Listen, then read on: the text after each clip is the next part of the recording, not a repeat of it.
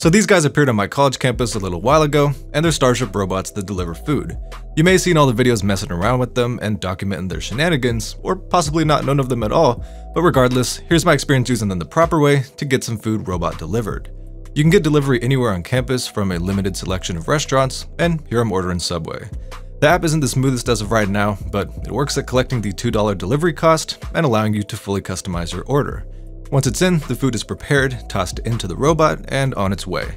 I'd say the time the robot takes to arrive is about 2 to 3 times as long as Google Maps will tell you it'll take to walk the distance. The robot will then arrive, you just gotta unlock the food bay from the app, can't have just anyone taking your precious meal, and you got yourself one Starship order delivered. Definitely watch my full video for downsides with these boys and my thoughts on if they'll stick around.